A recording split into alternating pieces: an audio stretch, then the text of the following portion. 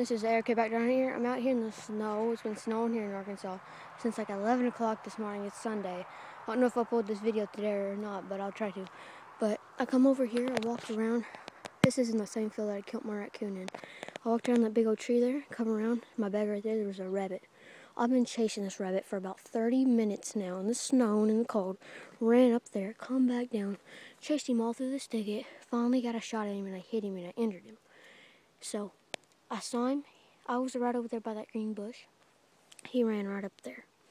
So I come right to where I, about right there, look up, and he's sitting right up there, laying on the ground. He he was right there when I saw him, and he ran up there when he saw me, and he stopped, and I shot, put it right on top of the back of his head, and he just dropped to the ground and, started, and he rolled like one time. But let's go up here and see if he's done. This is awesome, though. This is my second rabbit I've ever killed. I've never even gone rabbit hunting. I just killed one under a deer feeder one day. And then now this one, which, and I'll show y'all guys what I killed him with in just a minute. Make sure it's dead.